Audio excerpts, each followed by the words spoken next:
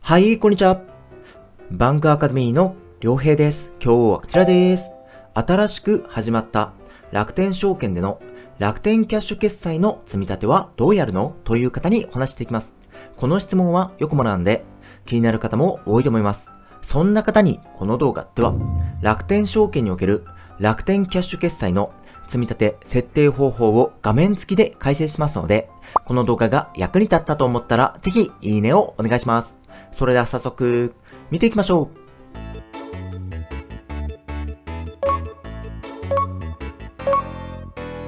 では、このパートで楽天証券の楽天キャッシュ決済の設定方法を画面付きで完全ガイドという話をしていきますが、先にこの動画の結論をお伝えします。2022年6月19日より楽天証券で楽天キャッシュ決済を用いた投信積立がスタートし0.5%のポイント還元があり、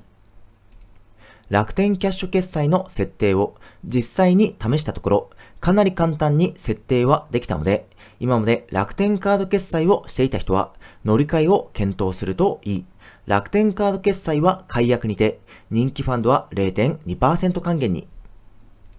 今ならキャンペーンもあるので、楽天キャッシュ決済を始めてみよう。この結論をもとに、楽天証券の楽天キャッシュ決済の設定方法を丸ごと解説ので、ぜひ最後まで見てください。早速ですが、楽天証券において待望の楽天キャッシュ決済が開始しました。2022年6月19日開始、楽天キャッシュ決済での投信積立がお得、楽天カードからのチャージで0.5%のポイント還元、2022年中は最大1%の還元ということで、楽天キャッシュとは楽天関係のサービスで使える電子マネーなんですが、0.5%のポイント還元があるので、先日解約となった楽天カード決済から乗り換えたいと思っている方はかなり多いはずです。ここで楽天証券における決済方法を改めてみると、以前より1%還元で人気だった楽天カード決済は先日解約が決まり、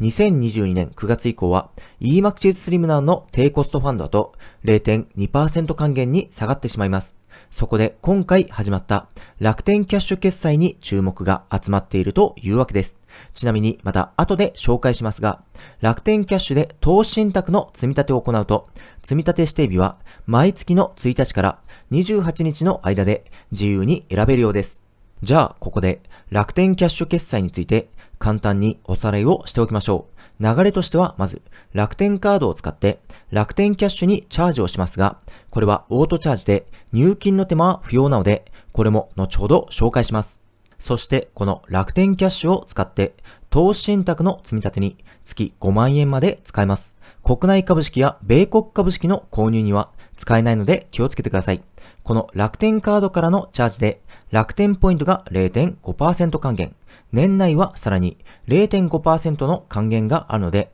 合計で1%の還元がもらえます。楽天キャッシュ決済の詳細も見ておくと、開始日は2020年6月19日、同年8月購入分。内容は、投信積み立て、オンラインの電子マネー、楽天キャッシュの利用が可能に、利用可能な金額は、投資信託の最低取引単位、100円以上1円単位、月額の上限は5万円分。積立 NISA の場合は、毎月33,333円が上限。対象口座は、特定口座、一般口座、NISA 口座、積立 NISA 口座、ジュニア NISA 未成年口座、法人口座、イデコ口座は対象外。対象商品は、楽天証券が取り扱う、全積立対象の投資信託。うん。このように、楽天キャッシュ決済を使えば、0.5%、年内は1%の還元があるので、お得と思っておきましょう。そうしたら僕も楽天キャッシュ決済を試してみたので、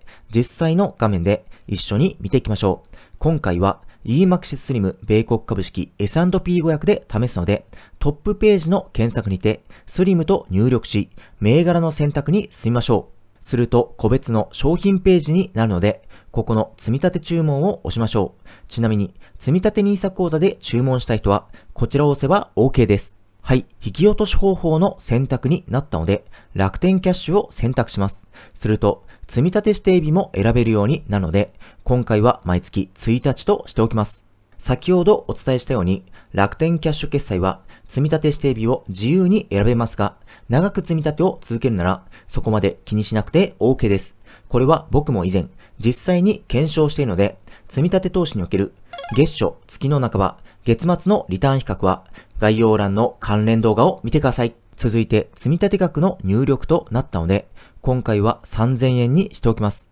ポイント利用に関しては、僕は SPU 達成のために、もともと1ポイントのみ使うようにしています。次に分配金のコースの選択になりましたが、EMAXIS Slim 米国株式 S&P 500は過去に一度も分配金が出ていないので、再投資型でも受け取り型でもどちらでも変わりません。また、口座については今回は特定口座にしておきます。そうすると、楽天キャッシュの設定の画面になるので、指示の通りに進んでいきましょう。ちなみに、楽天キャッシュのオートチャージの説明もあるので、こちらをクリックしています。はい。楽天キャッシュのオートチャージとは、これは毎月の積立金額が不足しないように、楽天キャッシュの残高をあらかじめ設定した金額以上にキープする設定となります。例えば、1万円以上に残高をキープする場合は、1万円を設定しておき、その後に7000円を利用して、残高が3000円になったら、7000円分を自動でチャージをしてくれて、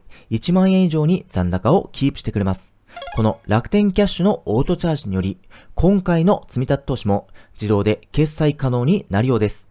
それでは楽天キャッシュの設定に戻りますが、まず残高キープチャージの設定になるので、こちらをクリックします。すると自分の楽天カードが表示されるので、どれを使うか選択しましょう。ここに表示されない方は、新しいカードを登録から入力して、設定するを押せば OK です。次に設定金額の画面になります。これは1時間に1回残高をチェックして設定金額を下回ると自動で不足金額をチャージしてくれるようです。今回は月3000円の積み立てとしたので残高のキープも3000円にしておきます。最後に積み立て設定の確認をしましょう。上から順番に見ていくと、引き落とし方法は楽天キャッシュ、積み立ての指定日は毎月1日、銘柄は EMAXIS Slim 米国株式 S&P500、積み立て金額は3000円。また、積立日について、初回の買い付け日は8月1日となりました。締め切り日は毎月の12日なので、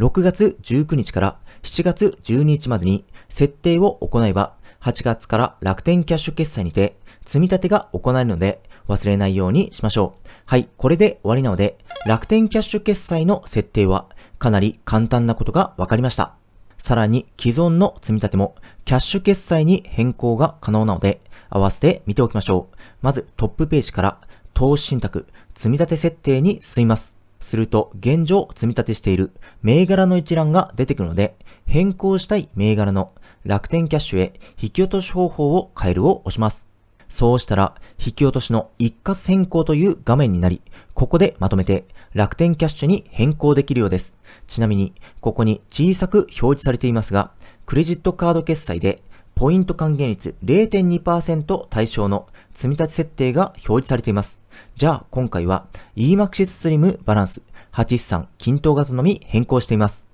そうしたら楽天キャッシュの設定になりますが、先ほどの積み立て設定でオートチャージを3000円にしたので、プラス1000円で4000円以上に残高をキープするように設定しておきます。はい、これで変更は終わりなので簡単です。今までのクレカ決済からまとめて変更できるので、これはかなりありがたいでしょう。ちなみに楽天キャッシュ決済が始まったことにより、余裕がある人は楽天証券において月10万円までポイント還元を狙った積み立てが可能になりました。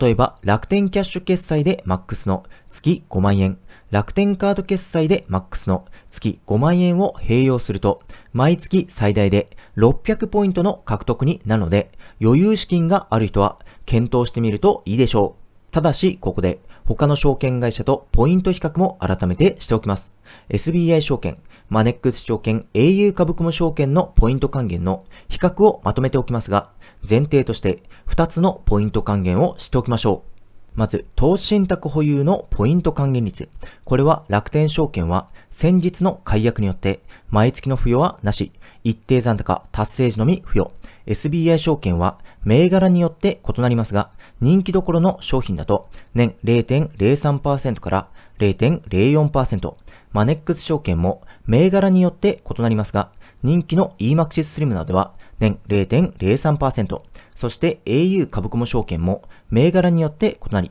EMAXIS スリムなどは年0.005%。続いて、クレカ積み立てのポイント還元率。こちらも楽天証券は先日の解約によって低コストファンドだと0.2%、今回の楽天キャッシュ経由でも0.5%、SBI 証券は0.5%から2%で、カードによって異なりますが、普通のカードだと0.5%、ゴールドカードで1%、マネックス証券が1.1%、au 株コム証券が1%。こうやってみると、投資信託保有の還元率は SBI 証券とマネックス証券が有利で、クレカ積立はマネックス証券、au 株コム証券、SBI 証券、楽天証券という順番だと思えば OK です。しかし、楽天証券も今ならお得なキャンペーンを行っています。まずは冒頭より紹介している最大1%の還元率アップで、これはエントリーが不要で、楽天キャッシュ決済を始めれば、年内は1%還元になります。また、こちらのキャンペーンもあります。楽天キャッシュ決済、スタートダッシュキャンペーンというもので、楽天キャッシュの山分けがあるようです。これはエントリーが必要のため、概要欄にリンクを貼っておきますので、とりあえずエントリーをしておきましょう。自分は使いやすさの面から、引き続きメインは楽天証券を利用するので、楽天証券を今後も利用する人は、ぜひ楽天キャッシュ決済を検討するようにしましょう。はい。では今日のまとめです。2022年6月19日より楽天証券で楽天キャッシュ決済を用いた投信積立がスタートし0.5%のポイント還元があり楽天キャッシュ決済の設定を実際に試したところかなり簡単に設定はできたので今まで楽天カード決済をしていた人は乗り換えを検討するといい。楽天カード決済は解約にて人気ファンドは0.2%還元に。今ならキャンペーンもあるので、楽天キャッシュ決済を始めてみよう。はい、こんなところですね。またわからないことがあれば、YouTube のコメント欄か Twitter、Instagram を DM から気軽に聞いてください。そして、この動画が役に立ったと思ったらぜひ、いいねを押すのを忘れないでください。よろしくお願いします。それでは今日もありがとうございました。バンクアカデミーではお金に関する様々な動画を配信しています。役に立ったと思ったら、ぜひチャンネル登録をよろしくお願いします。